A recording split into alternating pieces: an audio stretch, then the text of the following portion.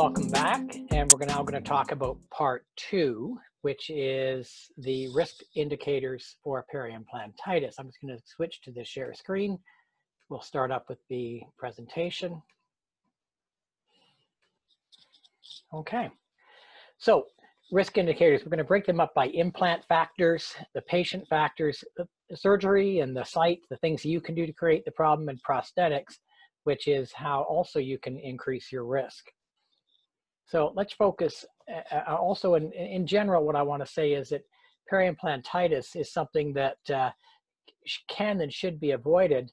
And often when I get a case referred, I can look at the case and say, predictably, this would have failed because the following things were done wrong. So I want you to really pay attention to this section so that in your lifetime of your career, you don't end up with a lot of problems.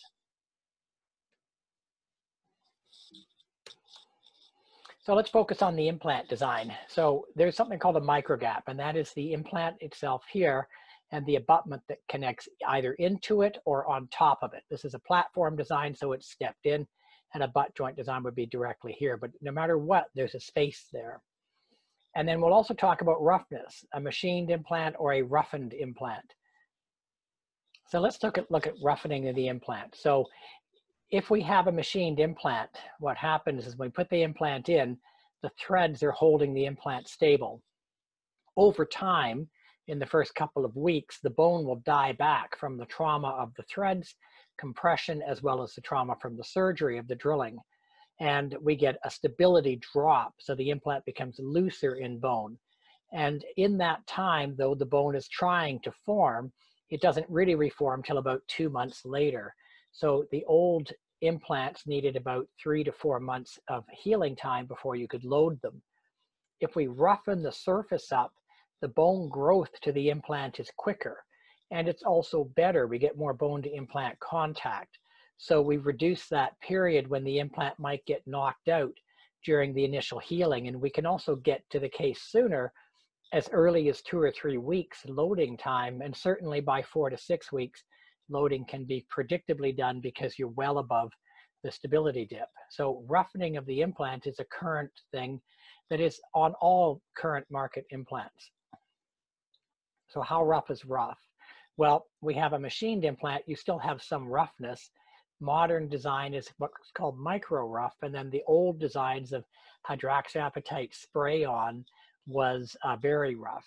And the ratio is something in the order of one and a half uh, mic uh, microns. So SA value of 1.2 to 1.5 is what's just defined as micro rough. And it turns out that that's the Goldilocks spot for bonding and getting your maximum bone to implant contact the implants that you might be most familiar with, the TiUnite and the Straumann SLA, as well as the Astra, uh, they're all in that range of about 1.5, 1.2 to 1.5. Now, does the advantage of that roughness that we like for getting bone to contact create a liability in terms of periimplantitis? And that was a good question. And we, we eh, understood as early as 2008 that that was this was a dog study where they put a ligature on the implant and then took the ligature off and let the disease spontaneously progress. And it became a standard model. Um, and they compared the different implant designs, machine versus Straumann, TiUnite, and TiOblast from Astra. And what they have here is this before the ligament, after the ligament, and then beyond after spontaneous progression. Just on the Straumann here, you can see how that progressed. Now, this particular study found that BioCare TiUnite surface was worse, um, but only marginally so than the other rough implants. But one of the main findings of this study was that all of the rough surfaces did worse than the machine titanium. And one of the critiques of this study was that it used different implant shapes. So they repeat these studies and they do them now comparing the same design. So same implant, same design, only changing the roughness. And you can see the machined implant from the time of the ligature removal, which is your spontaneous period, had no bone loss compared to the TiUnite, which lost bone. And so that's important. And also Straumann uh, surface is the same. We have the, the ligature loss and the spontaneous actually almost improves as compared to the ligature ligature loss and then the spontaneous progression getting worse on the SLA. So I know that uh, Dr. Lung is one of your guys' instructors and he's he's keen to point out that TiUnite is a bad surface because it's terrible and so on and so on. But the fact is they are both bad once that rough surface is exposed. And this has been brought, borne out by meta-analysis that looked at 87 studies where the implant design was the same, but the surface was rough versus machined. And always there's more bone loss on a rough surface. So whether it's TiUnite or SLA or any of them, all modern micro rough surfaces are a risk factor for periimplantitis if that gets exposed. And so Dennis Tarnow, a famous uh, speaker, has said something to the effect that regarding papilla around implants, the issue is the tissue, but the bone sets the tone. And it's a really famous quote. I'd like to start a quote, and I want you to remember this, is get it in bone and keep it in bone. That means that that rough surface should be placed fully in bone when you're doing your surgery. And that means you need to know that you've achieved it, and we'll find out whether that's possible. And if not, you need to graft. And keeping it in bone means designing your prosthesis properly and a few other things. We'll learn about that in the rest of the lecture. So that's the rough surface. What about the gap? So that micro gap creates something called a biologic width. So from the point of view of that connection, there's going to be a 1.5 millimeter drop to create a biologic width because bone doesn't want to be beside a bacteria. It will pull back. And that was been shown by Dr. Cochran's group. If we have a gap here, we always have 1.5 millimeters of loss when it's a butt joint connection. Now, what if I made the gap small enough, it was only 10 microns? Well, that had no effect. So it's not the size of the gap that matters. And even if we spot weld this so that it's not moving, yes, maybe a minor effect of reducing mobility, but still not significant. So the fact is, if you have a micro gap anywhere near the bone, the bone will move back to create that biologic width. So that was, this was circa 1997, we knew this. And in the 2000s, BioCare came out with something called the Groovy, which is a butt joint connection. And they thought that if they roughened this up and make grooves that it would hold the bone. But it doesn't make any sense because the microgap is is an is a known phenomenon and we know that we'll get one and a half millimeters of bone loss. And that means we know we're going to get an exposed rough surface. And so when i was showing this implant i told the rep i will never place this implant because it's a dumb design. And in fact that's what it looks like. This is a case i inherited but you can see again that groove surface and the microgap is here you are going to guarantee, in fact, you can predictably get periimplantitis with this. And this particular implant design was very damaging to the company reputation. And they went from being the number one implant company in the world to being the number two implant company in the world. So you're going to say that's old technology. This is that that loose fitting, uh, friction design fit. It's um, it doesn't create a very good seal. I know Dr. Lung likes to say that it's a sloppy, dirty connection. And we're all smarter these days. We use a conical connection. And in theory, maybe that gives me a hermetic seal because it's such a tight fit here. And the answer is no, because if you take that fit and you load it, there's still microscopic mobility. And we know that over time, you know, if we compare, say, a Morse taper, which is going to be your tightest fitting conical connection you can get, uh, a pass-through design or even a trilobe, yes, we know the conical was better in terms of leakage, but all of them leak over time. So there's no such thing as a hermetic seal. Do not believe anybody that will tell you that. And there are implant companies that are suggesting that if you put this abutment in, connect it tightly and never ever move it or remove it, that you will guarantee a seal and a stay. Uh, it's not true. And we know that that leakage can happen as early as two weeks. And we know that the bacteria that are inside that space are associated with the bone loss. So uh, again, there's no such thing as a hermetic seal, even a conical connection or internal conical uh, pass through like this, they leak. What if you put chlorhexidine in? Uh, well, the fact is because there's a micro mobility, there's a pumping effect, it's going to wash out. And there's been a uh, study that showed no benefit in terms of reducing bacterial penetration. So don't waste your time. Now, we're going to talk about standard platform versus platform shift. So a standard platform means the connection point is a butt joint. It's in line or flush fit. And we know from Cochran's work that's guaranteed 1.5 millimeters of bone loss. But if I move that away horizontally, maybe I get less bone loss, but it depends. So for example, if I have a very small step in here, I'm still gonna get a millimeter of loss vertically. And if I step in further, even a half a millimeter, I'm still getting 0.8 millimeters of loss vertically. And even if I do a large inset on my platform shifting inlet inward, I'm still getting at least 0.6 millimeters. And we know in general, all platform shifts are prone to at least a half a millimeter of bone loss. And that's because this is laden with bacteria. All you've done is move it horizontally away from the bone, but it still has an impact on the bone. And it turns out no matter what design you look at, they looked at every design. Here's again Dr. Cochran's group. And the only design that doesn't lose bone by the time you're at stage two is the one piece design. And that's where there is no gap at the level of the bone. So this is a machined collar. So it would look something like this, where the micro gap is now well away from the bone. It's moved to either two or three millimeters away from the bone. And that is the only design that doesn't lose bone from the time of placement to the time you do your prosthesis. So as I showed you in part one, my intervention rate was roughly double on the bone level designs because in part related to this inherent nature of having the bacteria close to the bone.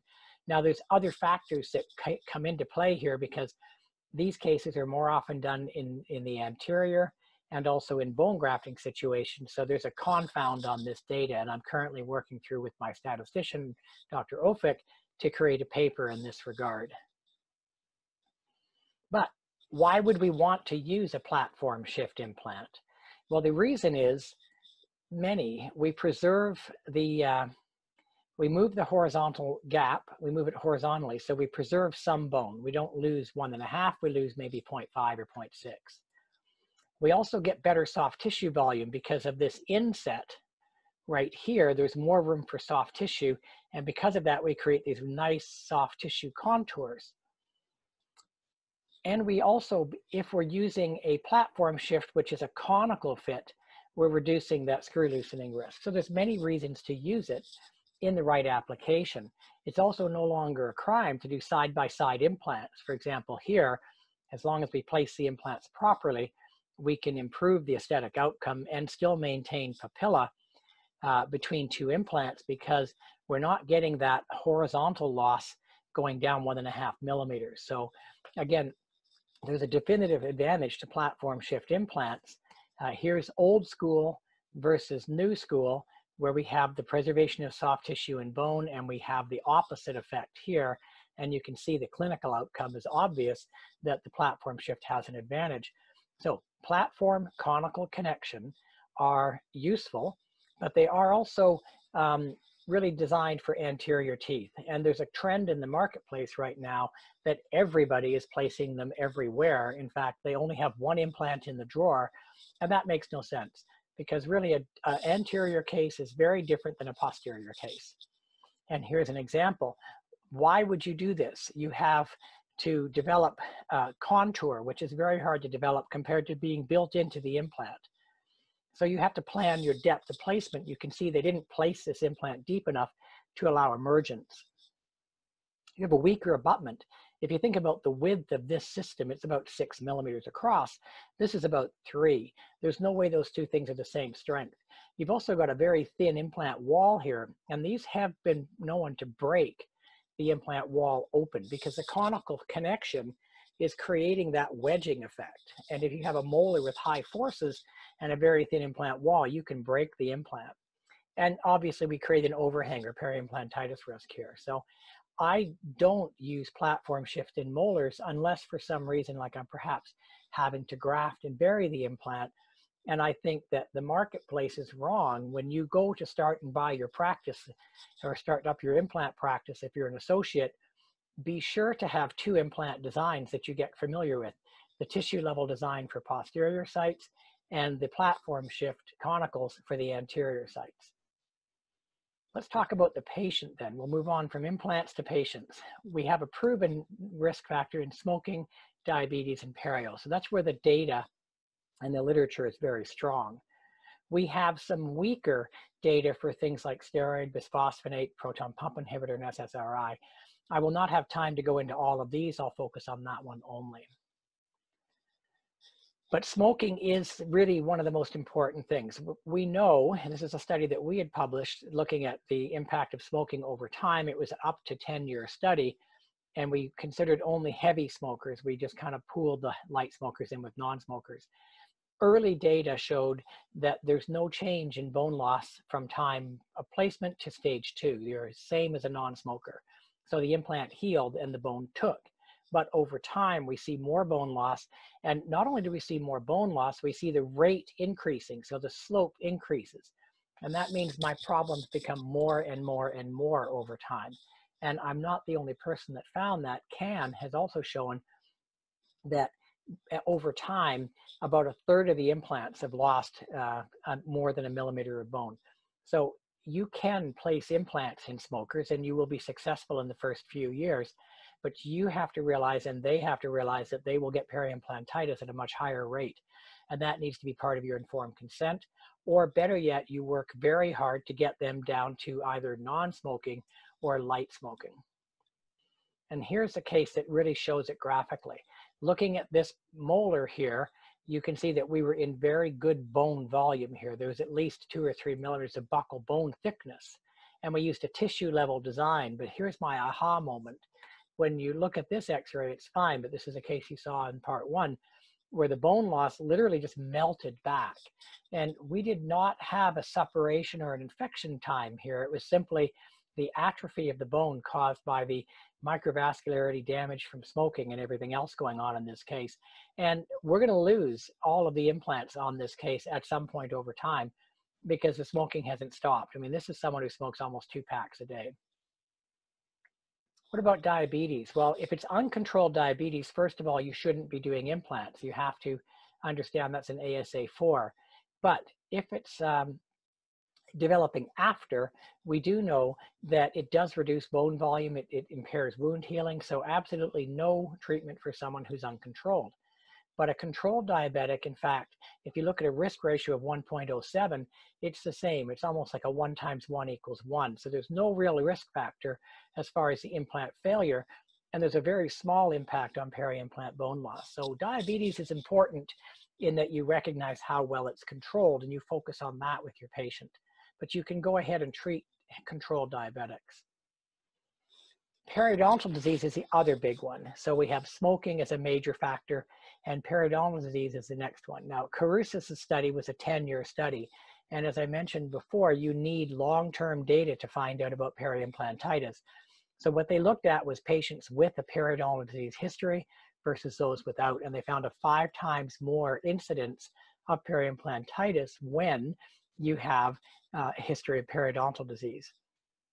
And we know that the teeth themselves, the bacteria that we can culture here, end up culturing there, and there's the same serotype. So it's important that you understand that, that if you have periodontal disease, you need to treat it before you do the implant work. Let's take a look at a large retrospective study, Derks' study on, on 2,000 implants followed over again, nine-year follow-up. And they found about 14% of patients had periimplantitis with about three to four millimeters of bone loss in these moderate to advanced cases. And it turned out that having a history of periodontal disease made a ratio of four times risk. So that's about the same as Karoussis. So when you're talking to your patient and they have periodontal disease and you're going to replace that failed molar with an implant now, they should be aware that their risk of developing periimplantitis is four to five times that of a healthy patient.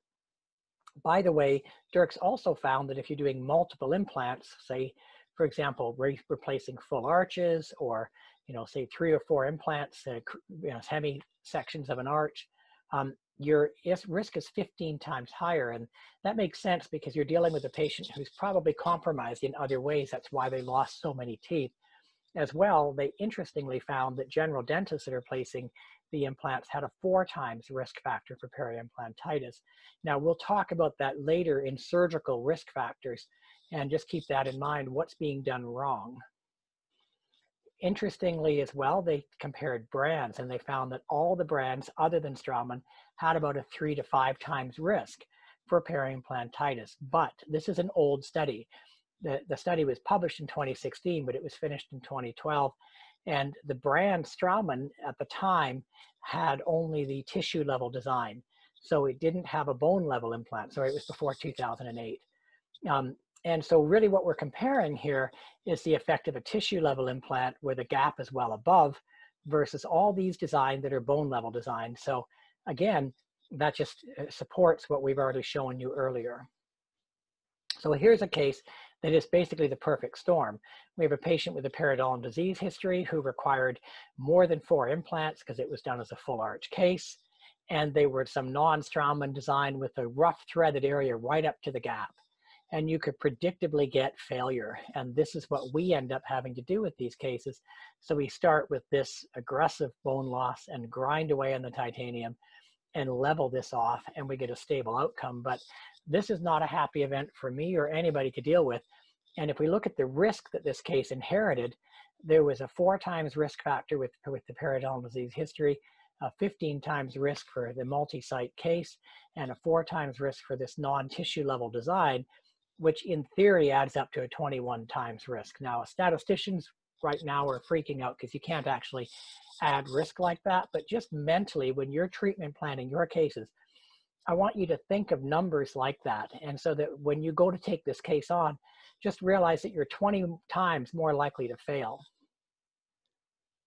We also have to differentiate the type of periodontal disease as chronic versus aggressive. So this was a study by uh, Florida Jacob, and they basically showed in a patient who was on recalls, rapid progressive versus chronic perio, which ones developed more periimplantitis. And they found that there was more bone loss in these aggressive perio cases, about 14 times greater. Now, today we don't call them generalized aggressive, we call them grade C rapid or something like that. You know, that's part of what you're learning at dental school.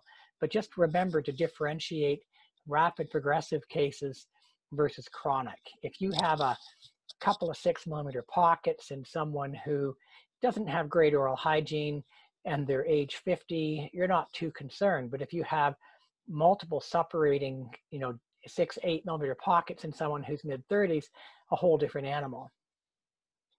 And here's my example then. This is basically my worst case ever. So this was a case that's referred to me from a periodontist. That's never a good sign. If a perio is sending you your cases, it's kind of like, here, you take it.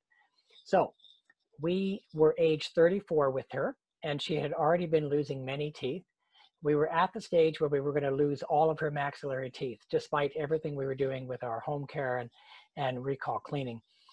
The bottom bicuspid to bicuspid was in pretty good shape. Uh, I had the discussion with her that we should take all of her teeth out, be and because the idea would be that we could remove the pathogens. But it's a pretty tough thing to do to someone who's 30 to take all of the teeth out, especially lower dentures aren't so comfortable as upper. So we discussed it and we chose to compromise and keep the bicuspid to bicuspid on the lower arch. So keeping the lower anterior arch. And this is what we had as our outcome. You can see the tissue inflammation and you can see progressive bone loss. All of this happened within about the first six months. We're trying to save the implant here doing citric decontamination and it didn't work and it continued to fail and causing bone sequestrum and you'd think that patient would have left me, but they didn't because we had explained everything in the beginning that we were all taking that risk. Uh, by the way, before we did the implants, we did microbial testing of the lower teeth and we followed and maintained her for a year. And only then did we proceed with the implants. But we were still fooled because the pathogens were still present. So even microbial testing is not always valid. Nonetheless, what happens eventually is the lower anterior teeth did progress and did lose bone and we lost them. So now we have a fully edentulous patient, which we kept edentulous for a year with a partial denture.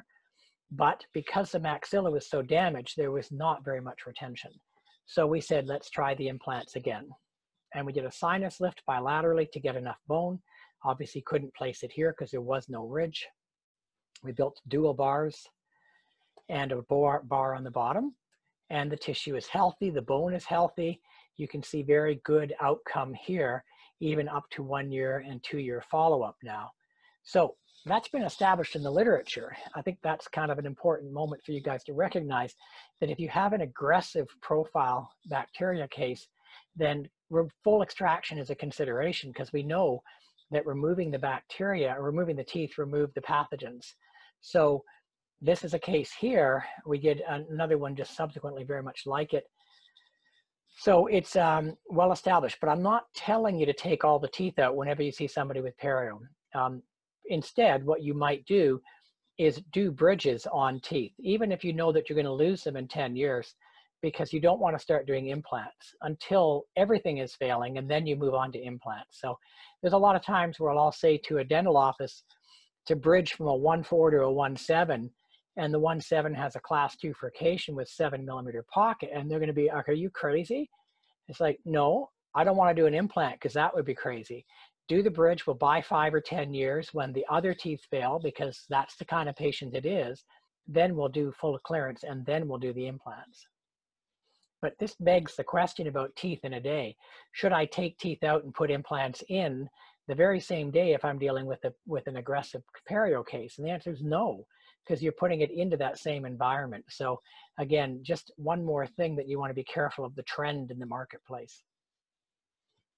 Do I take teeth out all the time though? Well, here's a case that is a rapid progressive. You can see the classic shape of defect on the first molar and the anterior teeth. This was a juvenile perio case back in the day. And we took out the failing teeth. We did aggressive microbial treatment. And then we maintained the case for three years before we considered our first implant. At the time, it was 1997, we were dealing with machined implants. And then by 2000, we're dealing with Straumann surfaced implants.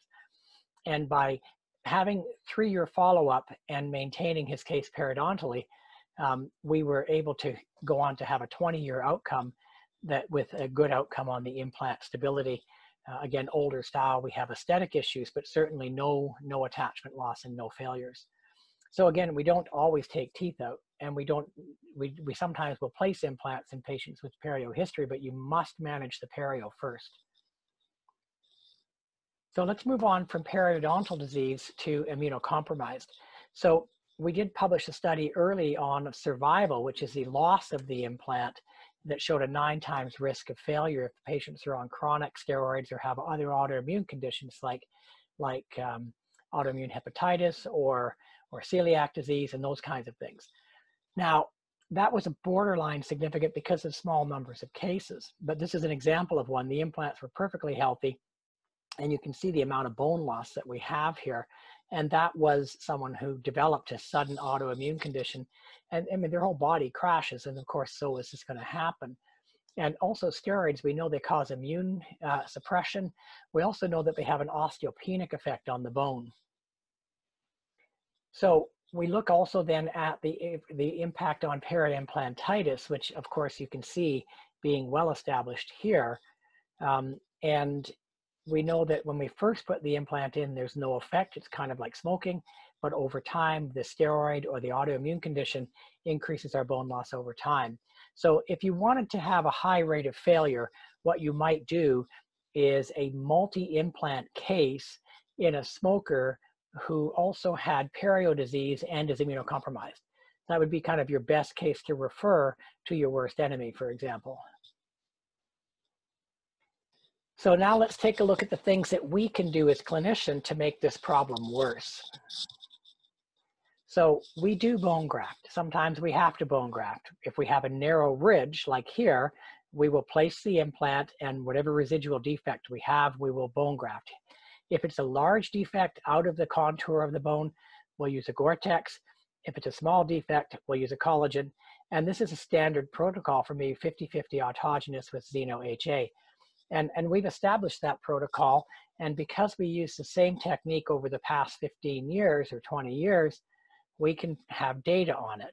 And so when I look at my outcomes right away, even in the first stage at, at stage two, we have a little bit more bone loss. And it's not surprising because under the membrane is an area of collagen. You never get bone right to the membrane. So you always start with about a quarter millimeter less bone. But then over time, we see that bone increasing over time. And by the time we get to eight years, we have about two millimeters of bone loss on average. That's quite a bit in a bone grafted site. And I'm not the only person who finds this. Shada just recently in 2019 showed two and a half times risk if you have done a bone graft for periimplantitis. And especially that risk is greater if there's adjacent implants. So what we want to do then is limit bone grafting as much as possible. So we often will do smaller implant dimensions or shorter implants, join them together to try to manage anything we can do to reduce a bone graft. And you could say, well, I don't do a lot of bone grafting because I socket graft. But the question is, is a socket graft a bone graft? And the answer is yes. Don't kid yourself. A socket graft is a bone graft by definition. And so, yes, it preserves the dimension, so you may not need to graft at the time of placement, but it adds cost to every case. And the long term is unknown because we don't know what it what does it actually form bone? Does the bone stay and does it actually take load? And I say that because the data shows that there's really no long-term studies. Most of them are less than one year. Most of them are case reports, but of the random control trials, there's only one that is a three-year study. And when we tell about patients getting implants, we say, this implant should be good for 20 or 30 years, but we don't have any evidence of that if we're doing a socket graft. There is a benefit. We know that we gain one and a half, or rather preserve one and a half millimeters of bone. So if I take the tooth out, I don't get as much of this loss. But I'm going to show you what my opinion is on that in a second uh, we, we do know that this, so there's no data for long-term consequences, and that's the biggest question. So this is my opinion. The implant on the left is almost completely in grafted bone. The implant on the right is almost completely in native bone, except I lost one and a half millimeters, so I'm going to gain that little bit back. Now, if my graft fails me, I end up losing a couple of millimeters. If my graft fails me here, I lose the whole thing. That's my opinion and I'll show you some cases. Here is a xenograft, so that's a bio-oss type material with a collagen barrier, and we get what the, uh, let's say WTF. And you guys all know what WTF means. It means what the fuzz. And when you see this on an x-ray, you know right away that's not real bone because it doesn't look like real bone. And when you drill into it, you can see the particles here. You can see them flaking away. Now, this is okay because I can bone graft that, and I do, but that costs me or the patient. Somebody has to pay again. Um, and that has to be built into your planning if you're going to do it. But what if I was doing a flapless surgery? What if I was one of those guys that was leading edge, uh, where I was like socket grafting everything because I thought that was a good idea. And then I was doing a guided flapless procedure everywhere because that's also a good idea. I would never even know that I had this problem until five years later when I see a ton of bone loss. So you're going to say to me, well, yeah, but HA is a bad material. And I would agree. You can see this here. 48 months later, it doesn't resorb. It's just ceramic. It doesn't go anywhere. And here's an example. You had this a case we inherited where the implants were put into a socket graft. And you can see where the bone falls away till, till it hits native bone. Because that particle, when you have that ceramic that's in bone, when the native bone dissolves, all you have is a foreign object now and it's contaminated with bacteria and it flakes out. So I've seen a lot of these because there was a few clinicians in my neighborhood that were doing a ton of these cases and this is what they all look like at five years. So you're gonna say, well, that's old material. Let's, what about allograft, the combination min-d-min? And, and that is for sure shown to be the best. Brian Mealey has said that that is the material to use and he's done the more histology than anybody on this. So we did that and you can see a thin buccal crest. We thought, let's preserve the ridge and again, you can say what the fuzz, because I do see a difference in the appearance, but we did get good width.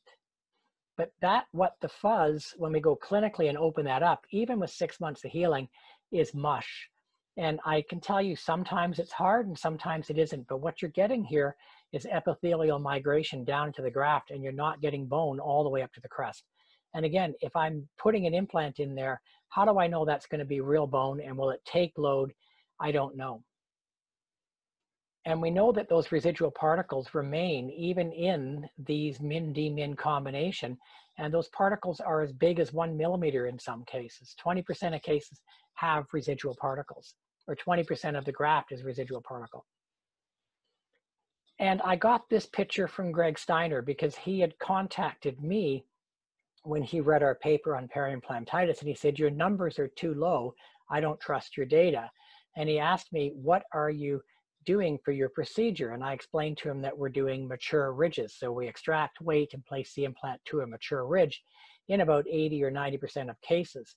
And he goes, okay, that makes sense. Because if you're not socket grafting, then I believe you and then he said then he went on to send me these pictures and he's got some other reports on this.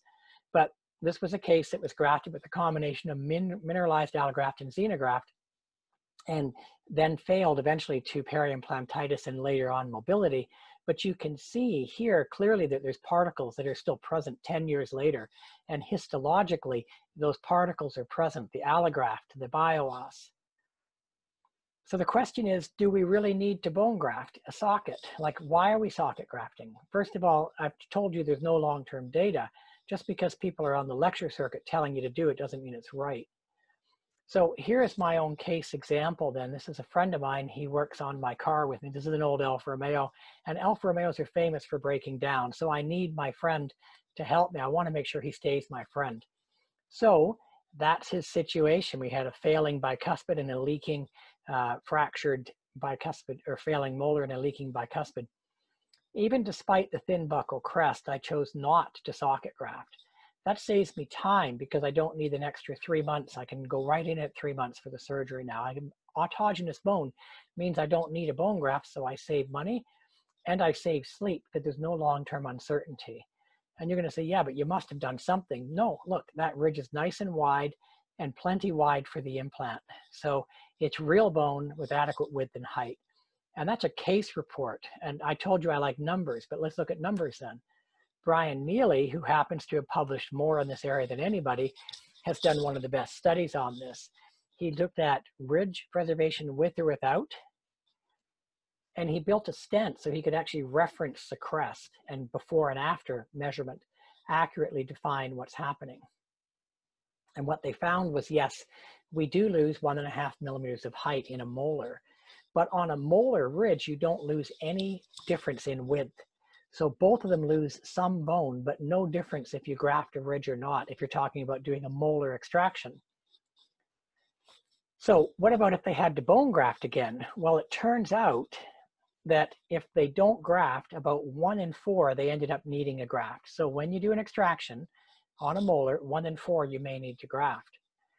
If you do an extraction and socket graft, just one in 10 you still have to bone graft. So you're still bone grafting at least 10% of your sites twice. But what that means is at least 100% of them have an uncertain future. And this is the issue for me. By the way, that 1.5 millimeters loss is not a big deal. It's actually favorable because if we look here, we often will have to put the implant in. We know there's a 2.8 millimeter collar we have about three or four millimeters needed for the for the abutment, and then two or three or two millimeters for the material thickness. So we end up needing vertical space. And more often than not, when I'm doing a molar, I have to cut the ridge back a little bit to create vertical clearance. So the vertical is not a big deal. But what about anterior teeth? Yes, the ridge collapses and often you'll get this dehiscence-like defect. And here we do have a small dehiscence, one or two millimeters. But tell me, look at that implant. It is mostly in native bone. And I have a very small, very easily managed defect here. As well, I have a contour problem here. I'm going to build that out with autogenous and bio-oss. In this case, the xenograft is going to be favorable because it's going to give us that volume maintenance we're looking for. The, the fact that it doesn't resorb is actually a good thing in this situation because we get the volume contour that we need. But the implant is almost 99% in real bone. So I call this veneer grafting or minor augmentation. And how often do we do that? If I look at anterior and posterior teeth, it works out to 30% of the time I need a bone graft, which means if I was socket grafting, I would be socket grafting 70% of cases that didn't need it in the first place. So 70% of your cases don't need a bone graft. And here's an example, perfectly good molar, well the molar was failed and we took it out. Now, this was a dental assistant who actually came to us. She works in two different clinics, and they were going to take care of it, but they were going to do a socket graft. And she came to us because she knew we didn't. Look at the width. We have no issue for width and height. By the way, we graft 30% of sites, including anterior posterior. Mealey found 25% needed a graft in posterior. So in general, you know, a quarter to a third of your cases may need a bone graft. And that means 60 to 70% of your cases are going to be better off because they don't need a bone graft, didn't have it, and that means their success rates are going to be better long term. What about keratinized tissue? This thick keratinized band that we like to have. Do we need it? It's a solid maybe. Systematic review shows if you've got uh, inadequate or adequate, basically you do have no difference in bone loss if you have good oral hygiene, but if you have poor oral hygiene, then it does make a difference. So it's beneficial if someone's not compliant, but also it makes it easier to do oral hygiene because it's more comfortable. So in general, it's a good idea, but is it always worth the additional cost? And the answer is a solid maybe. But there's one place where it is important, and that's a platform shift design implant. And that's because this biologic width, which we talked about, is going to be created. And if your tissue is very thin, that biologic width, instead of being created at the level of the tissue, is created at the level of the bone. And Linkevicius has shown that you do get more bone loss if you have thin tissue on a platform shift design. So here's a case example of a thin keratinized tissue, and we see it was healthy at one point, but started to develop some bone loss around here. We did a, a, a gingival augmentation, and even just having done that, we got improvement in the quality of the bone. So do we graft every case? No. And it becomes something that's a decision factor. So again, a, a solid maybe. But if you're doing platform shifts in those narrow posterior ridges, then maybe you should be doing the grafting as well. What about the bite? So there's a case at stage two. And at one year, we can see this cupping effect. Now, there was no bleeding, no inflection. So this was not a disease driven problem. This was a load problem and I'm going to show you we fixed it. You can see before and after. And what did he do? All I did was adjust the bite, took it out of the bite, and you can see the bone came back in. Now, that's a good example, but how do we know if occlusion is a, fa a factor? Well, we can take a look at a monkey study. So what we're going to do is we're going to look at oral hygiene, yes, oral hygiene, no, and put the crown in hyperocclusion, either 0.1 or 0.2. And what we find is if you're in hyperocclusion, even a healthy planed case, 0.2 millimeters leads to bone loss. But if you have hyperocclusion of 0.1 and inflammation, you get bone loss. So the, basically the plaque is doubling your risk factor. And you're gonna say, well, I don't put my crowns in hyperocclusion. I'm gonna say, yes, you do. Here's why, because healthy teeth move. Teeth intrude. So a, a mandibular molar in a perfectly functional healthy case is going to intrude 30 microns. In a parafunctional patient in a maxillary molar, it's going to intrude 136 microns, which by the way, if we have plaque present, is more than enough to cause bone loss. So we typically always try to achieve at least a 30 micron clearance in healthy situations, and we double that up. So we do it this way. Accufilm is 20 microns. So imagine this piece of paper with an Accufilm. If I fold it once, I have a 40 micron clearance, and I like that to pull through when the patient is biting. And if it's a Bruxer, I'm going to go to 80 microns, which is a double fold. And it's just a really quick and easy way to dial in your occlusion so you don't have that intrusion of the adjacent teeth causing hyperocclusion on your implant. What about human factors? Well, this one hospital study showed that uh, you know, three out of four failures were coming from the same surgical teams, which tells you you got a problem with your person, not not your clinic, and and it comes down to protect, you know, tech, practitioner attitude, not technical considerations. And and to be fair enough, we all learn, and we know that inexperience doubles your risk. If you're only doing 50 implants a year, you're probably going to fail twice as often as someone who's doing more. But you know, with time, you get experience. But very interesting study by Jemt's group, and this is Gothenburg. It looked at the very original implants, uh, Brånemark, 39,000 implants, so massive study. And they found differences between the surgeons. As expected, more failure in the early learning curve, but more importantly, a few surgeons, three in particular, stood out with the highest failure rates and accounted for many of the failures when deviating and taking risk. So uh, what they're saying is that the attitude makes a difference. and that they tend to overestimate their ability on complex procedures. And you know, we're going to talk about that study by by Derks that said general dentists placing implants have four times more failures. This is part of it. You know, getting on high risk procedures without understanding what you're getting into. And so the Journal of American Dental Association, which is a journal for general dentists and by general dentists, looked at this. They took 87 experienced practitioners. That means they had to do 100 implants a year and restore them as well, place and restore. And their outcome was lower than academic or specialists. And, and if we look at peri-implantitis only, we had 18% that had lost over two millimeters by the four year point. Now, that's a lot. Um, that means almost one in five is a future liability because that rough surface is exposed. If you compare that to our outcome at seven years, we have a 5%. So they're roughly three times the amount of loss in about half the time. So that's where peri-implantitis is becoming a problem. That's why I'm seeing so many more referrals for it in my practice. So what are the things that the general dentist or even other dentists, myself included, are doing wrong in some cases? Well, it comes down to proximity, depth, compression, and malposition. These are the main ones. I'm going to show you a case here that did everything wrong. They're too close together, they're at different heights, they're malposed, and they used a hypercompression implant.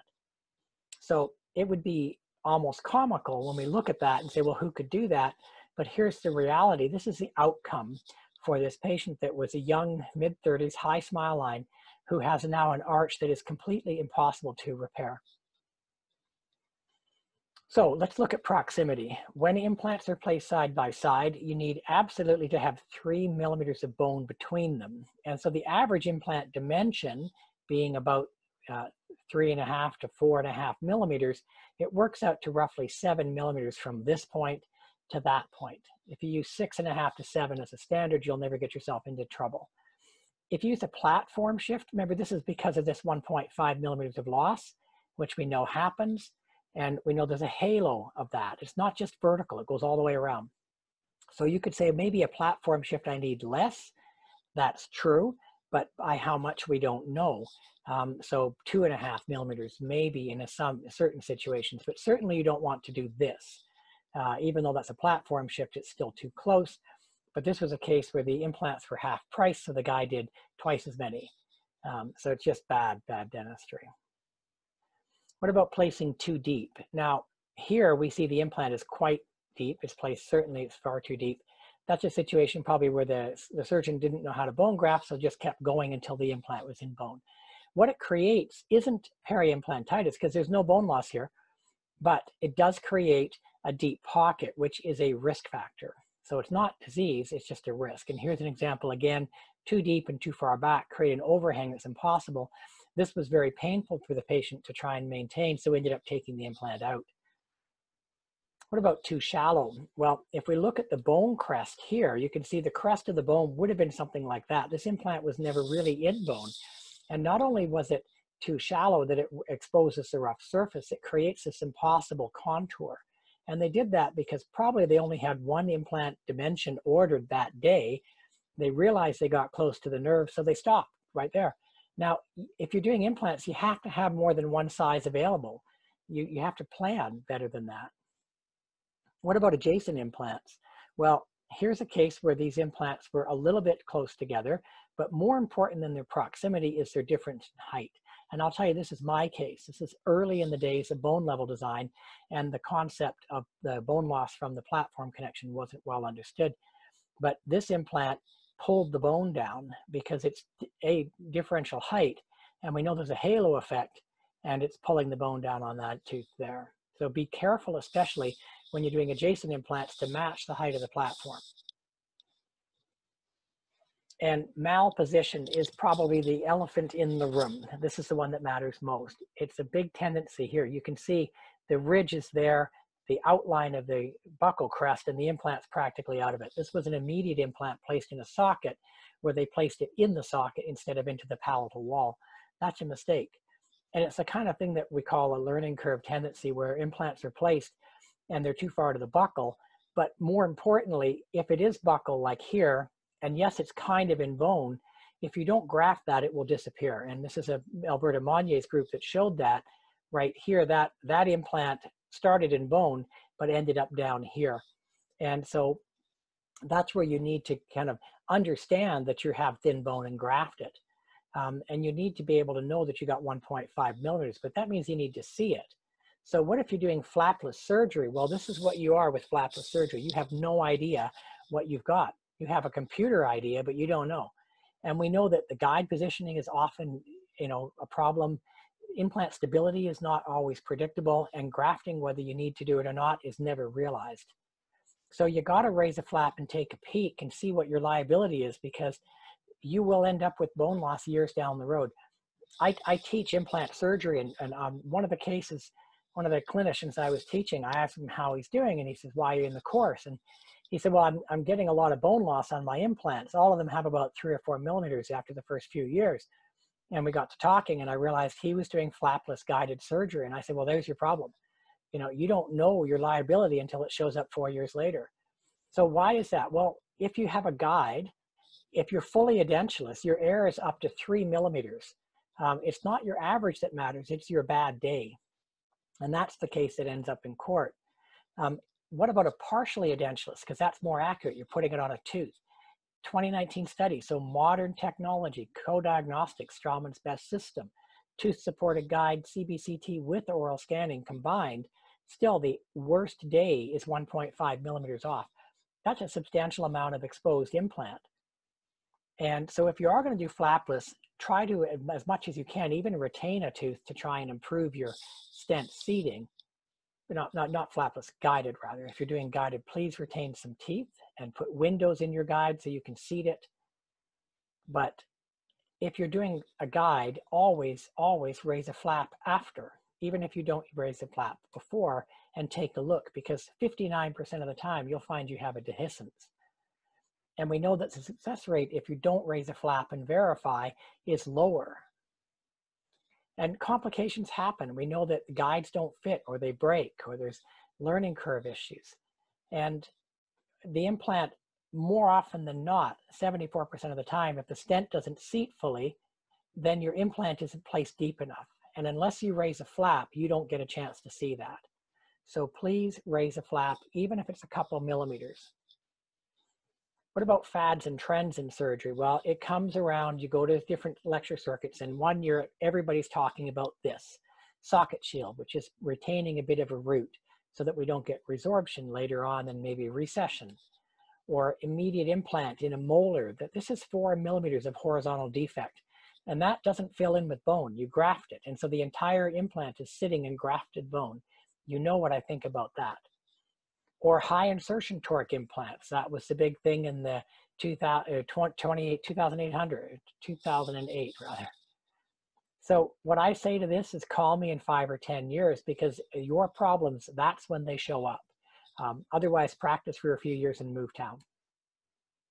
Let's look at the big trend in the market for the past 10 years was this high insertion torque because everybody wants to do immediate loading. If you jam the implant in tighter, maybe you can immediate load safer. They said up to 70 to 170 newtons was the same as 30 to 50. And this study is bad. It's often quoted, but it's a bad study. Non-random, non-blind, no histology. The control was tiny compared to the high torque group. They only report average data. They don't look at outliers. Now, outliers are where you learn those are where that's the remember we showed you the 5 to 15 percent that i have failures on? That's where you do your learning. They don't report it they report average. But if you read the paper the two that had complications were in the high torque group and in the discussion section but nowhere in the in the results or in the abstract was that they had nine times more bone loss from stage two to one year in the high torque group and this has also been supported by Cochran's group where they took a bone level, Straumann bone level, so a very mild tapered design, and did a tap or no tap. And in the absence of a tap, they had more crestal bone loss, and it was statistically significant. So again, you want to minimize any crestal compression because you don't want to encourage even a millimeter or two of early bone loss. Because what is that? That's exposing rough surface. And remember what we say, get it in bone and keep it in bone. My experience with the high torque implant was this. We only did 76 of them. We were in a, a pre-market trial for the NobelActive and we stopped because of this kind of outcome. And again, immediate placement in infected sockets, another trend on the market case. This is a systematic review, but look, it's 21 case series. That is not evidence-based. That is simply storytelling. And if what we can conclude in this paper, they conclude that controlled trials are needed. And more importantly, we need over five-year follow-up to establish whether these are proper treatment protocols. So let's look at the implant prosthetic now and see what we can do to make things worse for ourselves. And we'll break it up into these four categories. So obviously this is a great example of very poor management of cement. And in part, it showed up six years later because the patient never came back for follow-up.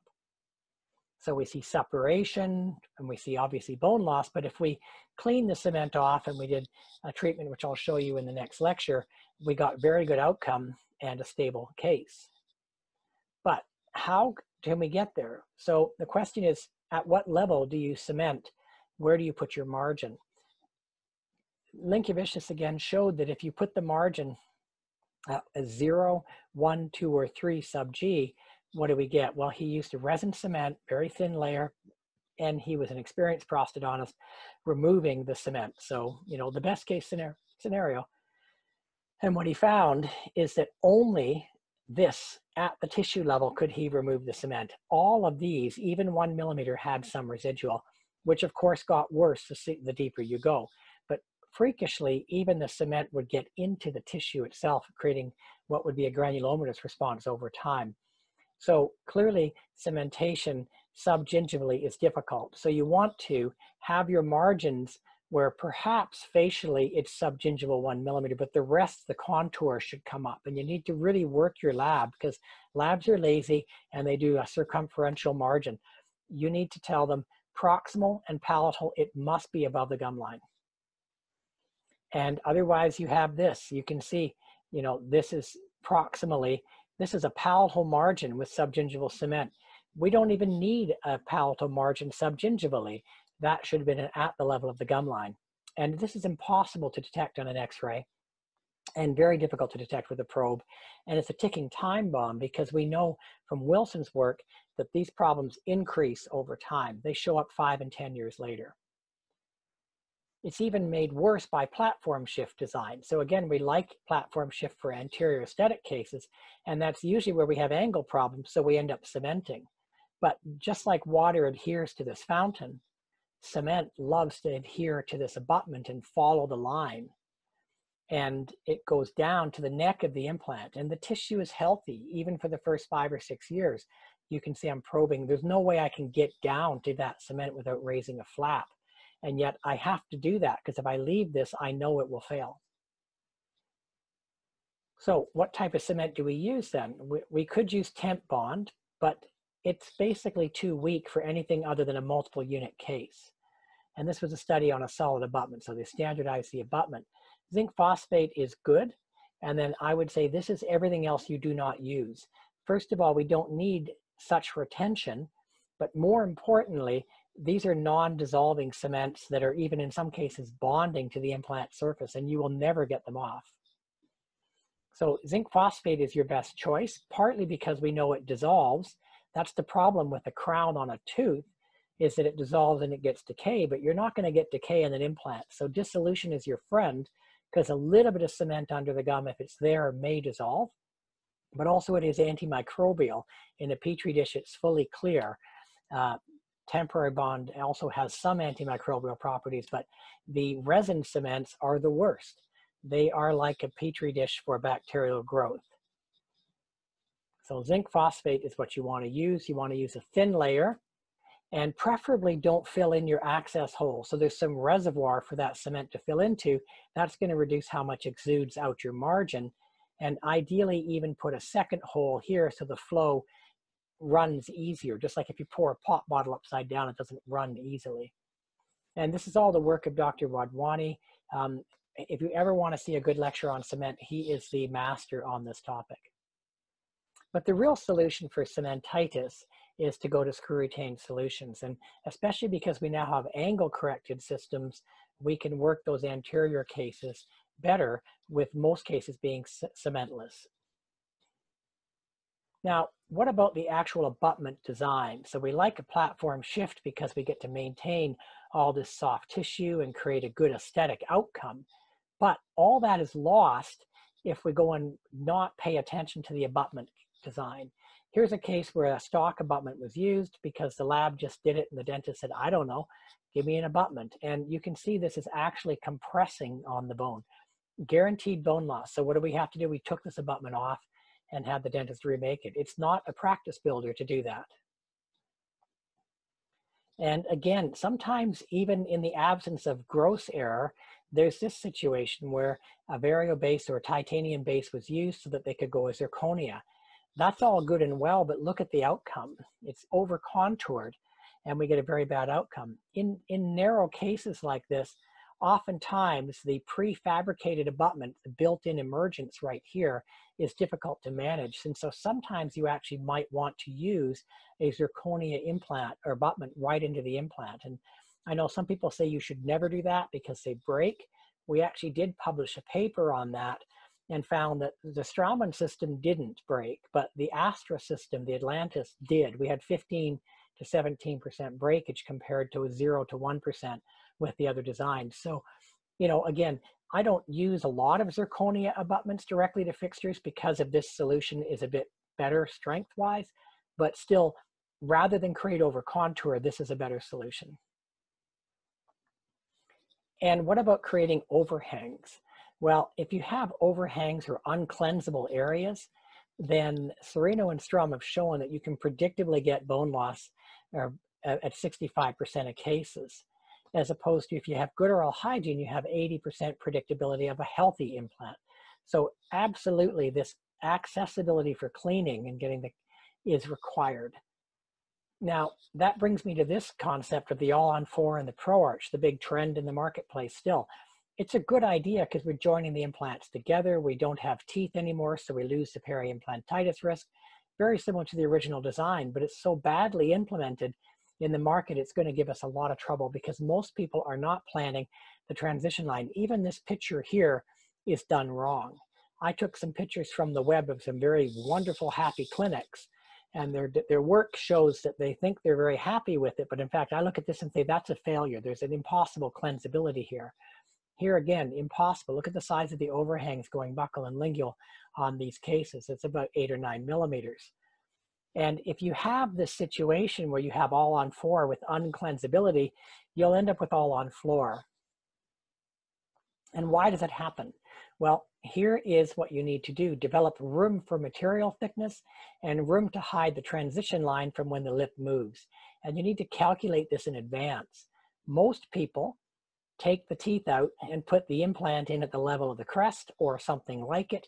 They're, they don't plan to know what they need and they end up creating this. I'll show you how to do it though, is using digital design. And you have to also include the transition line of the lip movement, so some kind of facial marking as well. Um, this is courtesy of Sonia, this picture on the design planning.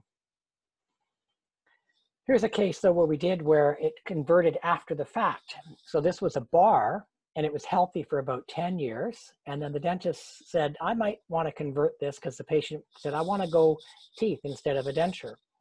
So healthy, healthy for 10 years. And all of a sudden I get a phone call saying, we got a problem. We got bone loss on the implants.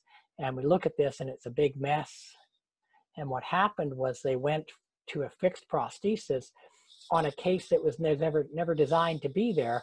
So we created this overhang. And if you look at it, it's completely uncleansable situation. And just the conversion of that led to the problem.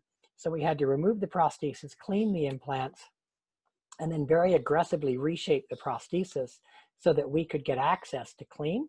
And you can see already immediate improvement. And there it is there. And a year follow-up showing that the bone has returned to a horizontal stable pattern and no bleeding. So again, I cannot stress enough, you must design cleansability into your prosthesis. So in summary, from part one, we know that implants are more prone that we should be careful with our bleeding on probing and incorporating the IMI. Um, the radiographs need to be done properly and using a standard reference to rough surface.